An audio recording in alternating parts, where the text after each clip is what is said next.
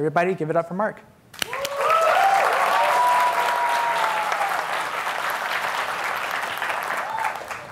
Hello, everyone. My name is Marc Aupont, and I am an iOS engineer at Lickability.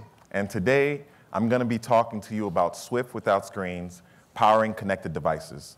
By the end of this talk, I'm going to show you how I took the very uh, the language that most of us know very well and love and used it to build my own project called the Tribot Model 3. The Tribot Model 3, simply put, is a battery-driven robot car with a, ras with a Raspberry Pi running Swift. That's right, you heard correctly. Swift running on something that isn't an iPhone, MacBook, watch, or Apple TV. Even Elon himself can't get enough of it, but enough about that. In order for us to appreciate the project at hand, we first must understand how we got here. In 2014, at WWDC, Craig Federighi dropped a bombshell announcement on stage. No, it wasn't how much money he could save by switching his car insurance to Geico, but instead, it was a new programming language. Objective-C without the C is what it was referred to. That's right, I'm talking about Swift. As I watched the keynote, I was just as excited as this guy, and I asked myself, what does it mean for me? Up to that point, I had some exposure to Objective-C, but I knew I didn't want that in my life. This seemed like a perfect opportunity to give mobile development a try. Little did I know, I would spend the next years through the proverbial waxing on and waxing off of software development. It started with a multitude of tutorials from the likes of Ray Wenderlich, DevSlopes, and Hacking with Swift, just to name a few. See, the thing is, all of those resources had something different to offer. It was up to me to use the different sources and gather important bits that would help me in my journey. During that time, some things seemed like overkill or even possibly redundant. Why did I need to learn how to read documentation or understand certain APIs at a deeper level? See, this is no different than when Daniel-san went through the process of waxing Mr. Miyagi's car.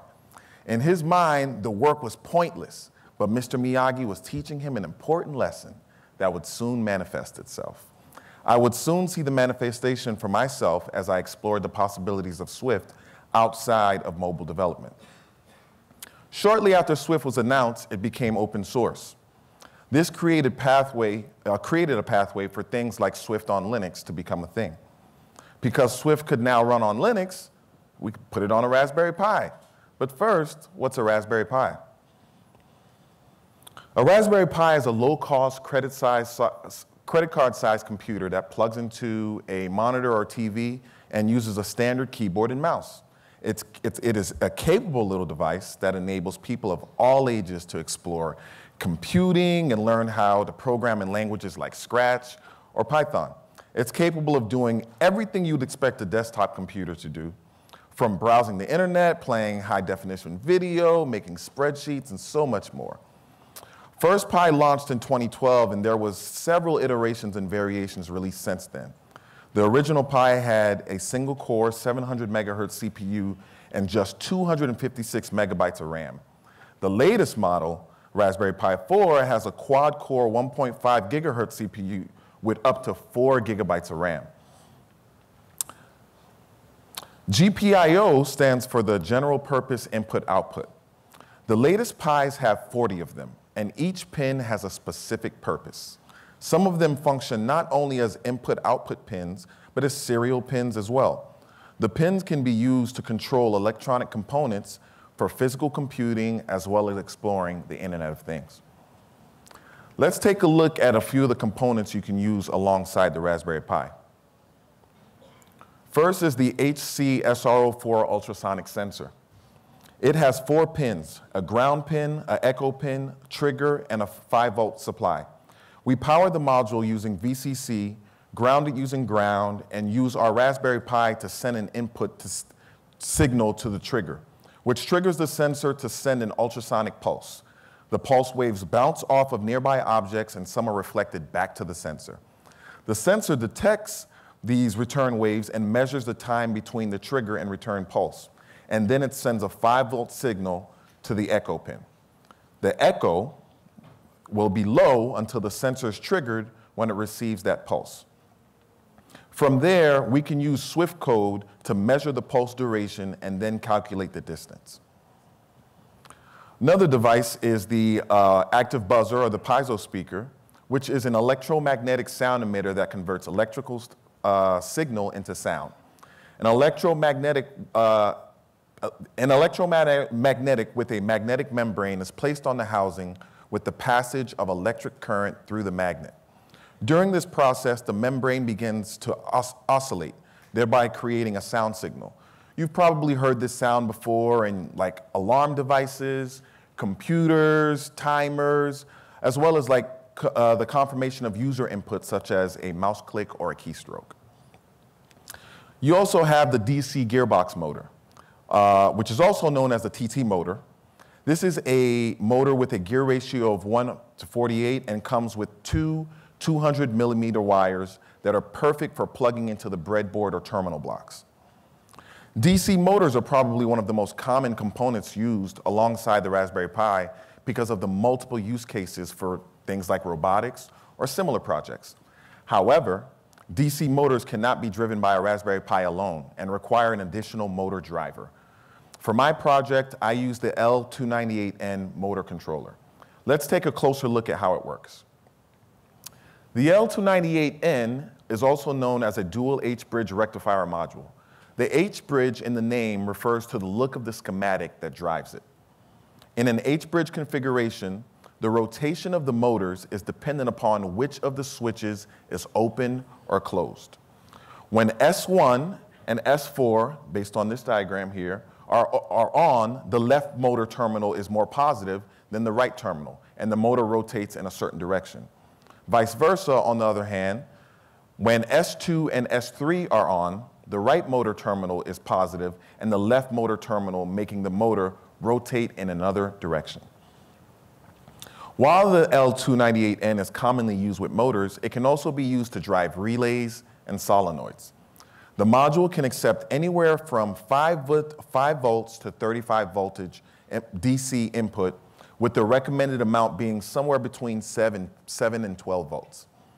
If you input less than 7 volts, the internal 5 volt regulator will not function, and if you input over 12 volts, you, you run the risk of burning up the internal 5 volt regulator. To get around this, there is a jumper on the motor that you can disconnect to uh, supply your own 5 volt regulated voltage so that you can have more flexibility. Once you've provided your voltage, controlling the motors is just a matter of sending the proper signals to the input pins. In order to further illustrate this, let's take a look at the truth table for a L298N. This truth table represents the various values we can have with our motor. When the enable switch is off, which is ENA, regardless of the values of input one and input two, the motor's always off. Once ENA is on, which is the enable switch, uh, based on providing either a 0, 0, 0, 1, 1, 0, or 1, 1, that provides various states for the motor. So you can either stop it, go backwards, forwards, or stop it again. Relatively simple. In order to make use of this hardware, however, we need the use of a library like Swifty GPIO. This library provides an easy way to interact with external sensors and devices using the digital GPIOs, SPI, interfaces, buses, PWM signals, and so much more. Like Android Things or similar libraries in Python, Swifty GPIO provides the basic functionalities you need to control different devices, sensors, displays, uh, input devices, joypads, uh, RGB LED strips, and so much. Now that we've covered all of that hardware, let's take a closer look at the software and installing Swift on the Pi. Recently, I wrote a blog post covering this here at a very high level. There are two ways to install Swift. You can either build Swift yourself or use precompiled binaries. I would highly recommend option two because the first option will take several days to do on the Raspberry Pi. The precompiled binaries are possible because of the work of the Swift ARM group. They have put together a repository that allows you to install Swift using the Advanced Package Tool, or APT for short. Let's take a look at the steps necessary. The very first step is essentially adding the uh, Swift ARM repo to your Pi via this curl script. Once you do that, it's just a matter of specifying the version of Swift that you want, and voila, you're done. Now let's take a look at a few projects that were built using the Raspberry Pi. One of the most popular ones is a, a, project called the Magic Mirror. The Magic Mirror is essentially a smart mirror with a screen behind it. That screen can be an Android tablet or a computer monitor. Naturally, a monitor will make for a larger mirror, but it's also a great way to repurpose the use of an old LCD monitor that you may have laying around. But you can't cram a full computer in there unless you use a Raspberry Pi. Now, one of my own projects, of course, is the TriBot Model 3. Here's one of the parts lists that I used, or the parts list that I used to actually build it out. Um, this particular kit came with everything displayed here. You get your gearbox motors, uh, a base to hold it, your wheels, and a battery holder as well as using the L298 motor driver controllers. Here's a circuit of what it looks like when it's finally all put together. First, you have the motors connected to the motor input pins on both sides of the L298N controller.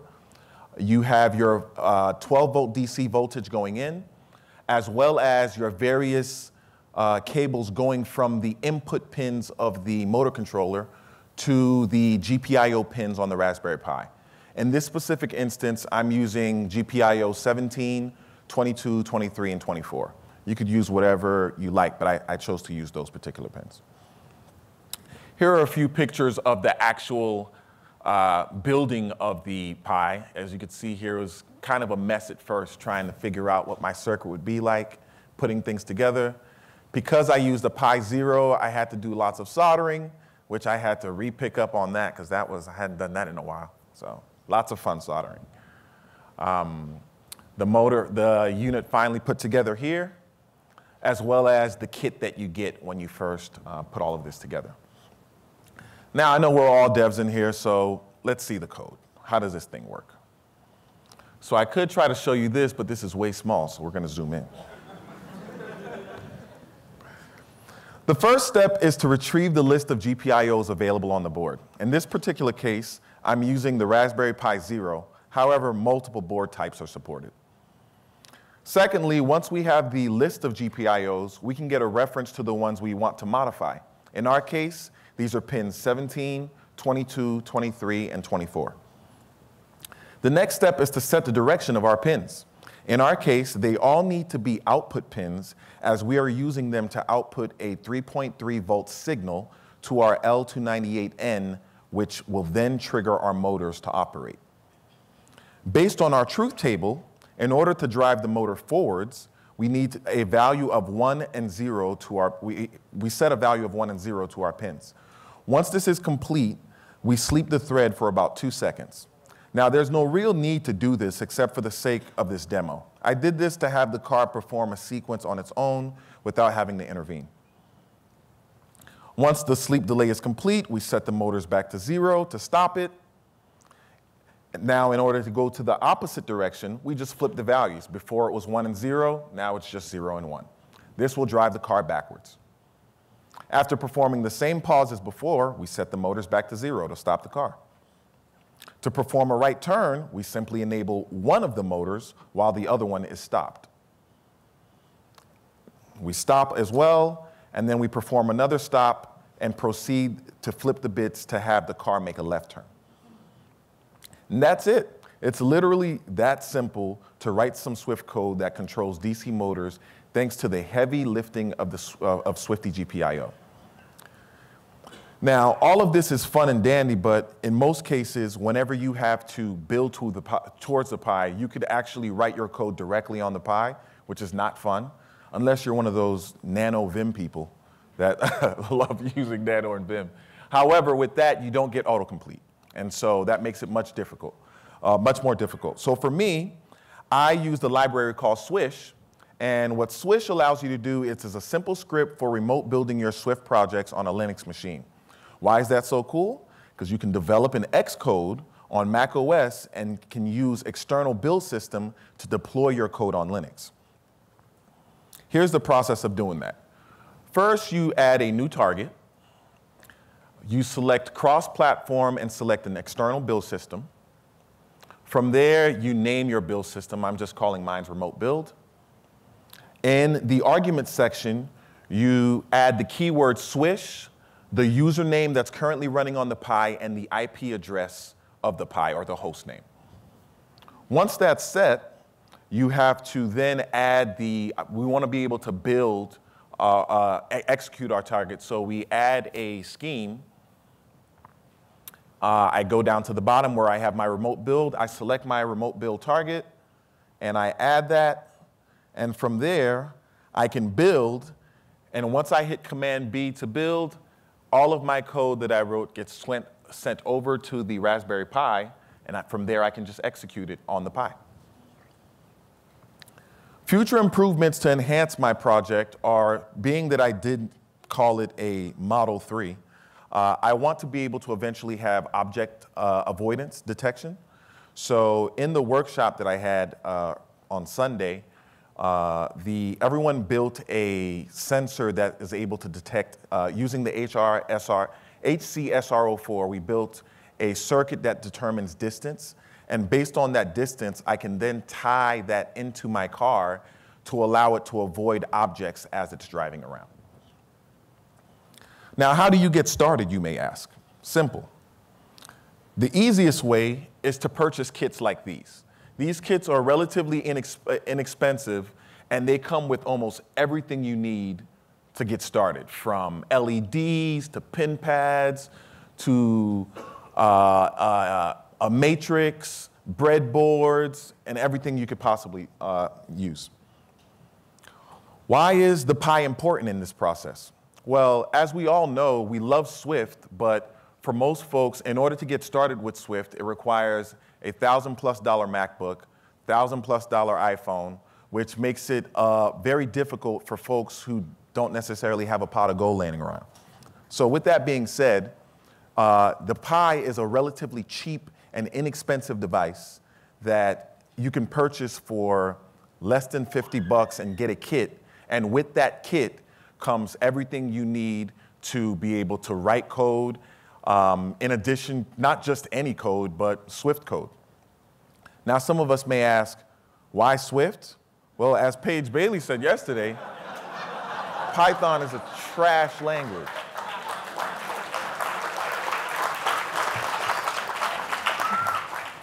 So to recap, we went over the Raspberry Pi and introduced the ability to take Swift that we would normally use on our iOS and macOS apps and actually use it on embedded devices. The possibilities are endless. It's just a matter of having a really good imagination and tinkering with things like I did. That being said, that's my talk.